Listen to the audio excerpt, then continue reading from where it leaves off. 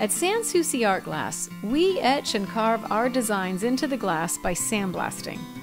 The three most popular sandblast effects we use are solid frost, which is a single stage sandblast, as well as dimensional and 3D, both of which are multi stage sandblasts.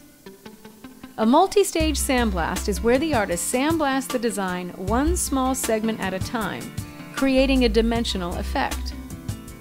In 3D carved glass, the sculpted edges illuminate as they pick up and reflect the surrounding light. A dimensional sandblast, similar to 3D, has shaded areas where the sandblasting fades back out to clear glass. This creates a beautiful dimensional effect, but the sandblasting is on the top surface only and is not cut deep into the glass like 3D. Solid frosted glass is a one-stage overall sandblast where the design is made up of thin, clear pinstripes.